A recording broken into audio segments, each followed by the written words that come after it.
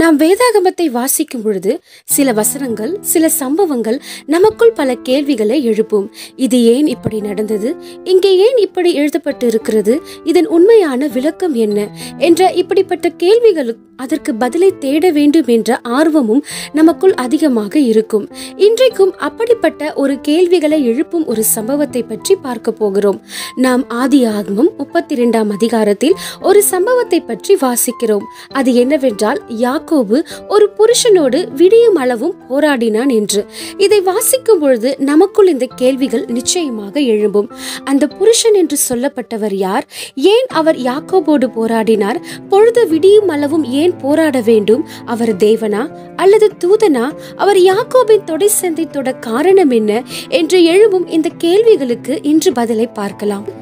யாக்கோபு தன்னுடைய சகோதரனான ஏசாவை சந்திக்கும் போகும் பொழுது இச்சம்பவம் நடக்கிறது. யாக்கோபு ஏசாவுக்கு மிகவும் பயந்து வியாகுலப்பட்டு தன்னிடமிருந்த ஜனங்களையும் ஆடு மாடுகளையும் ஒட்டகங்களையும் இரண்டு பகுதியாக பிரித்து ஏசாவை சமாதானப்படுத்தும்படிக்கு அனுப்பினான்.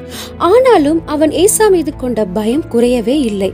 காரணம் ஏசாவும் நானொரு பெயரோட அவனை எதிர்கொண்டு வந்திருந்தான். யாக்கோபு தன்னுடைய வெகுமதிகளை தன் அண்ணனுக்கு அனுப்பின பின்பு அவனும் அவன் இரண்டு மனைவிகளும் இரண்டு பணிவிடைக்காரிகளும் அன்று ராத்திரி யாப்போக்கு என்கிற ஆற்றின் துறையை கடந்தார்கள். யாக்கோபு குழப்பமான சூழ்நிலையில் இருந்தபடியினால் தம்முடைய குடும்பத்தை அக்கறைக்கு அனுப்பின பின்பு அவன் தனித்திருந்தான். அச்சமயத்தில் தான் அந்த புருஷர் யாக்கோபோடு விடியும் அளவும் போராடினார் என்று வாசிக்கிறோம். இப்பொழுது யாக்கோபு இப்படி போராட என்ன காரணம் என்று பார்க்கலாம். யாக்கோபு பிறக்கும் பொழுதே தன் சகோதரனுடைய காலை பிடித்துக்கொண்டு பிறந்தவன். கர்ப்ப கர்ப்பத்துக்குள்ளேயே போராடினவன். தன் வாழ்க்கையில் போராட்டங்களை மட்டுமே கண்டவன். இப்பொழுது அவன் இப்படி போராட அவனுக்குள் இருந்த பயமே காரணமாக இருந்தது. ஆதி ஆகமம் முப்பத்தி இரண்டு ஏழில் வாசிக்கிறோம் அப்பொழுது யாக்கோபு மிகவும் பயந்து வியாகுலப்பட்டான் என்று. யாக்கோபின் இந்த பயத்திற்கு காரணம் அவன் முன்பு செய்த பாவம். தன் சகோதரனையும் தகப்பனையும் வஞ்சித்த அந்த நினைவுகள் அவனுக்குள் ஒரு குற்ற மனசாட்சியை ஏற்படுத்தியது. பாதுகாக்கும்படி கர்த்தருடைய இரண்டு யானைகள் தன்னோடு இருப்பதை அவன் கண்டிருந்தும் கர்த்தர் தன் பட்சத்திலிருந்து லாபானை கடிந்து கொண்டார் என்று அவன் கேள்விப்பட்டிருந்தும் அவன் முன் செய்த பாவத்தினால் வந்த குற்ற மனசாட்சி அவனை பயப்படும்படி ஒரு கோழையாக மாற்றியது. அதிலிருந்து விடுபட வேண்டும் என்றே அவன் அந்த புருஷனோடு போராடி இருக்க வேண்டும் யாக்கோபோடு போராடியது வேத வசனங்களின் அடிப்படையிலும் வேத வல்லுநர்களின் கருத்துப்படியும் யார் என்று பார்ப்போமா? ஆதியாகமம் முப்பத்தி இரண்டு இருபத்தி நான்கில் வாசிக்கிறோம். அப்பொழுது ஒரு புருஷன் பொழுது விடியும் அளவும் அவனோடே போராடினான் என்று.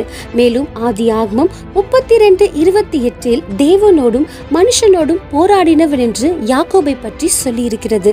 ஓசியா பனிரெண்டு மூன்றில் அவன் தாயின் கர்ப்பத்திலேயே தன் சகோதரனுடைய குதிகாலை பிடித்தான். தன் பலத்தால் தேவனோடு போராடினான். அவன் தூதன் ஆண்டவரோட போராடி மேற்கொண்டான் என்று சொல்லப்பட்டிருக்கிறது. இந்த வசனங்களின் அடிப்படையில் பார்க்கும் பொழுது நிச்சயமாக யாக்கோபோடு போராடியது தூதன் இல்லை தேவன் என்று விளங்குகிறது.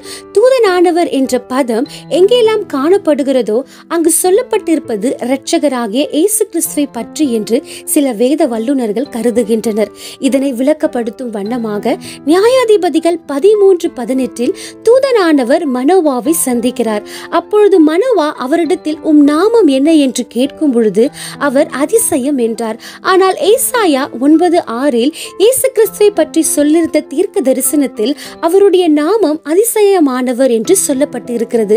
இது போன்ற பல சம்பவங்களில் பழைய ஏற்பாட்டில் தூதனானவர் வெளிப்பட்டு இருக்கிறார் அவர் வெளிப்படுத்தப்பட்ட இடங்களில் எல்லாம் தூதர்களைப் போல கர்த்தருடைய வார்த்தையை கொண்டு வருகிறவராய் இல்லாமல் தம்முடைய அதிகாரத்தை பயன்படுத்தி இருப்பதை பார்க்கலாம். உதாரணமாக யாக்கோபின் பெயரை மாற்றியது.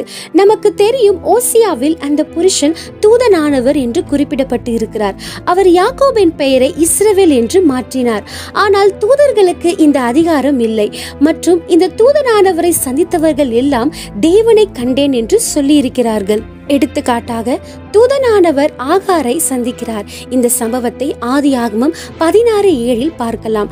அந்த சந்திப்பு முடிந்த பின்பு என்னை காண்பவரை நானும் இவ்விடத்தில் கண்டேன் என்றாள். மற்றும் யாக்கோபு நான் தேவனை முகமுகமாய் கண்டேன் என்று தூதனானவரை எங்கெல்லாம் சந்தித்தார்களோ அங்கெல்லாம் தேவனை கண்டேன் என்று சாட்சி சொல்கிறார்கள்.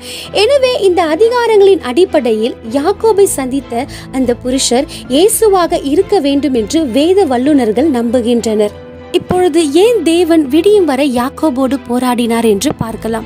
யாக்கோபு மிகுந்த பயத்தோடு இருந்தான். அவன் பயம் நீங்கும்படிக்கும் அவனுடைய விசுவாசம் அதிகரிக்கும்படிக்கும் தேவன் யாக்கோபோடு விடியும் வரை போராடினார்.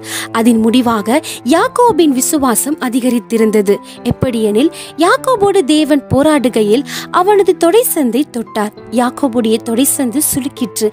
வலியால் அவன் துடித்த பொழுதும் அவன் விசுவாசம் அதிகரித்தபடியால் அவன் அவரை விட அதாவது அவர் ஆசீர்வதித்தால் ஒழிய அவரை விடமாட்டேன் என்று விசுவாசத்தினால் விடாப்பிடியா இருந்து தன்னுடைய ஆசீர்வாதத்தை பெற்றுக்கொண்டான். ஏன் தேவன் யாக்கோபின் தொடைசந்தை தொட்டார் என்று தெரியுமா? தேவனோடு போராடிய அந்த நாளை அவன் மறக்க கூடாது என்பதற்காக தேவன் அவனுடைய தொடைசந்தை தொட்டார். அவனுடைய தொடைசந்து சுலுக்கிற்று ஏன் தேவன் யாக்கோபின் பெயரை மாற்றினார் என்று தெரியுமா? யாக்கோபு தேவனோடு போராடி வெற்றி பெறுவதில் தேறிவிட்டான். எனவே பாதங்களை பிடிப்பவன் என்று அர்த்தம் கொண்ட யாக்கோபு என்னும் பெயரை தேவனோடு போராடி மேற்கொண்ட இளவரசன் என்று அர்த்தம் கொள்ளும் இஸ்ரவேல் என்னும் பெயரை தேவன் அவனுக்கு கொடுத்தார். இஸ்ரவேல் என்றால் தேவன் ஆளுகை செய்கிறார் அல்லது தேவனின் இளவரசன் என்று அர்த்தம். இவ்வாறு போராடிய யாக்கோபின் பயத்தை மாத்திரம் தேவன் மாற்றவில்லை. எதிர்த்து வந்த அவனுடைய சகோதரனின் இருதயத்தையும் தேவன் மாற்றினார். மேலும் யாக்கோபுடைய போராட்டம் அவனுக்கு ஆசீர்வாதங்களை பெற்றுத்தந்தது. தேவ பிள்ளைகளாகிய நம்முடைய வாழ்க்கையிலும் ஆசீர்வாதங்களுக்கு ஜெபத்திலும் விசுவாசத்திலும் நாம் போராட வேண்டும் என்று தேவன் விரும்புகிறார். அப்பொழுது நல்ல போராட்டம் பெரிய ஜெயத்தை உண்டாக்கும் என்பதற்கு இந்த சம்பவம் ஒரு நல்ல எடுத்துக்காட்டாக இருக்கிறது.